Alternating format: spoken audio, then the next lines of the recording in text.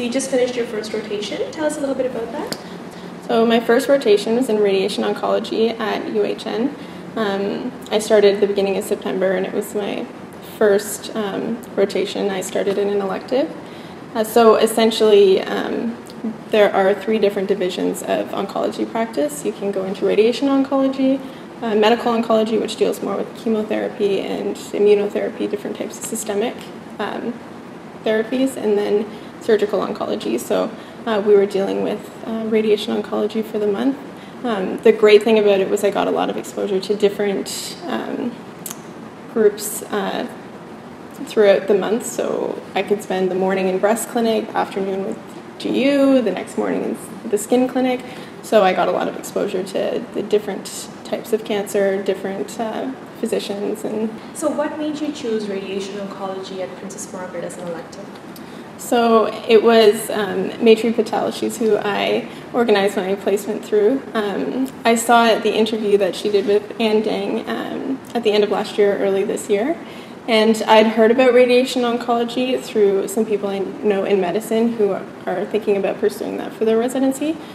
Uh, so, knowing that there was a PA in the field, I did my uh, longitudinal placement uh, in the middle of first year and just had a really good experience. There's really good teaching. Um, everyone was just really welcoming while I was there, and I just thought it'd be a really good learning experience for my first rotations.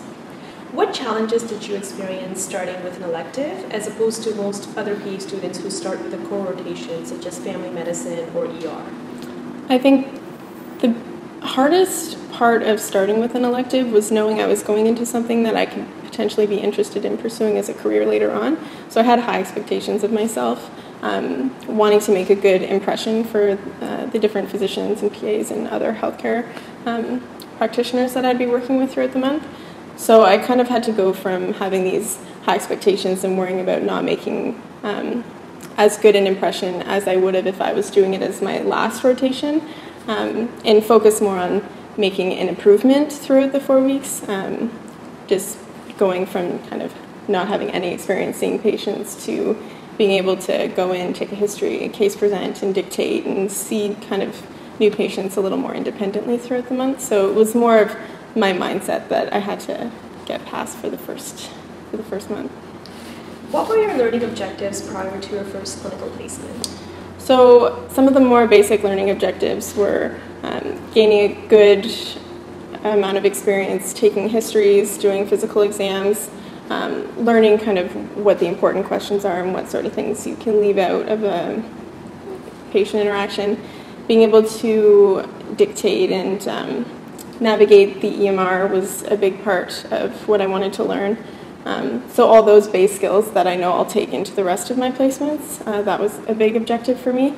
Then also specific to radiation oncology, I wanted to learn about tumor staging, how the radiation oncologists work with medical oncologists and surgical oncologists, and how that sort of interaction plays out in practice.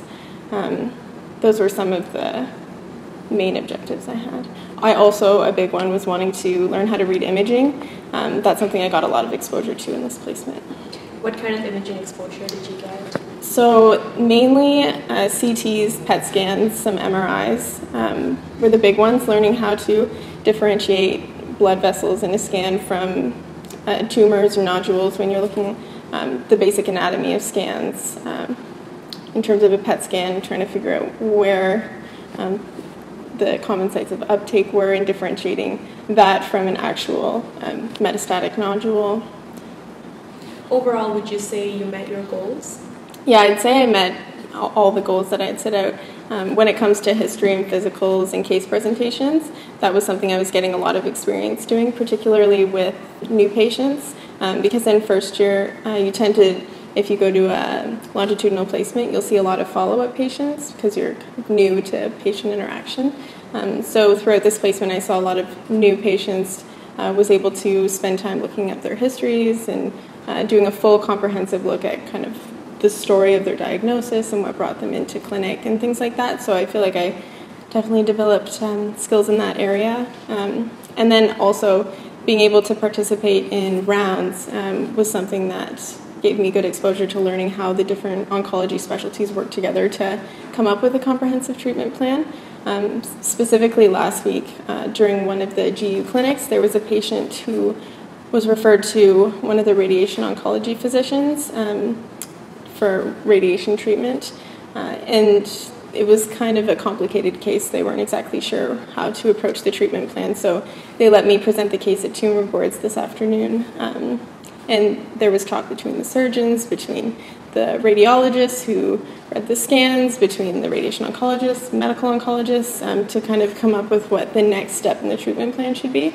So um, I got good exposure to um, kind of the interdisciplinary teamwork that happens, especially at a place um, uh, like UHN that has really good um, experience for learners overall. Did you have a personal learning project during your rotation? Yes, I did. So, um, a couple weeks before starting my placement, I reached out to Maitry to ask if there was anything I could do on the side just to enhance my learning experience. Um, since oncology is something I'm really interested in doing uh, and something I've thought of doing outside of clinical practice uh, in research. Um, I thought if there was anything I could do that could give me exposure to the non clinical side, I, uh, it would be something I'd be interested in. So I ended up starting a project um, uh, that Maitry kind of discussed with one of her supervisors. Um, so basically, what that entailed was for all the different site groups, so breast, lymphoma, GU, um, there are history and physical templates um, that are meant for residents or different learners going through um, new consults with patients in those clinics. It has some of the pertinent information that you want to include in a history all on one sheet of paper, uh, which is really helpful, especially for me where I was coming into it not knowing what the important parts um, of an exam was for all the different site groups. So my role in these templates was to kind of use them, see where um, I saw improvements could be made or things that were missing or things that could be changed. Um, so that when residents and fellows come through uh, the program, they're able to use them and it kind of allows you to um, put all the details from a patient's history uh, together on one sheet so you can present it to the physician easily and dictate it really quickly. It kind of improves the workflow that way. And what were your steps um, in the process in development of a standardized history and physical template for different site, cancer site groups? So my main process um, was actually using the templates that were already pre-existing um, for the first two or so weeks, and I would note if I took a history and um, there were certain aspects that were missing from that sheet that seemed to be important or something that the physician wanted to know. Um, and then I would modify the templates as needed until um, felt like it was comprehensive. And how has this PLP helped your personal growth? I think it's just helped one with time management um, on top of full time uh, placement, learning how to kind of set aside time to do um, a separate project on the side. I think it's good that I started out doing that so that for my next placements, I um, am able to time manage when it comes to finishing work and having the energy to study on the side or maybe doing other projects in the future in my other rotations. I think that was one of the ways it benefited me. Um, and I think it just helped me learn about oncology, um, going through those templates and looking up um, kind of what the pertinent uh, details are for different types of cancer was kind of a way to solidify some of the things I learned in placement. Just to wrap things up, what did you enjoy most about this rotation?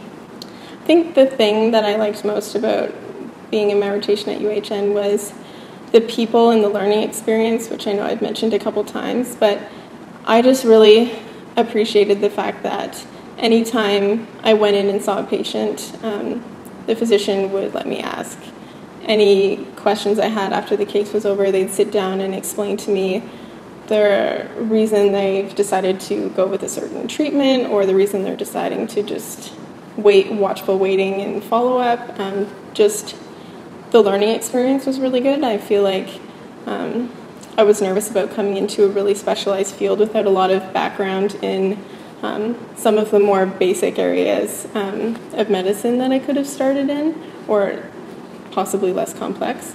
Um, but I just feel like I got a really good foundation of knowledge because the UHN is a really great place to learn. Hi, I'm Maitry and I'm a radiation oncology physician assistant. Um, I'm a McMaster physician assistant program graduate from class of 2014. With most of the students, I try to ensure that they present directly to the staff physician because in real life, that's what a PA would do.